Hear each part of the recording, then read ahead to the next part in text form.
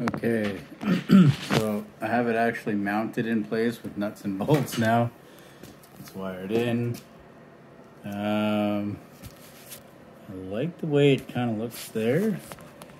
I can't really tuck it up underneath the fender any, well I can underneath the fender a little bit more, but you kind of hide the, the direction that the light wants to shine. So anyways, let's take a look at it.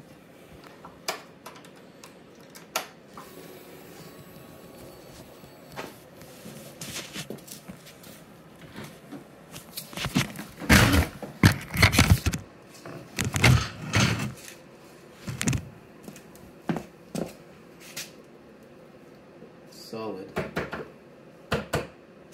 But again, I've got to make a proper ground for it. So right now, like I said, I've just got that kind of tight taped in there. but yeah, so let me know what you think of that, Mackie. Um, the reason it's flashing so fast is because the, these LEDs take up a lot less power. I have an LED problem like that when I did my uh, my Virago. There's that actual little relay that you can buy that will slow it down to whatever speed you want if that's something that you're worried about. It was actually isn't too bad. One of my Virago is really, really fast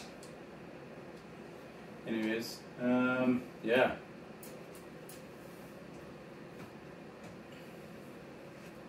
Oh, I like it.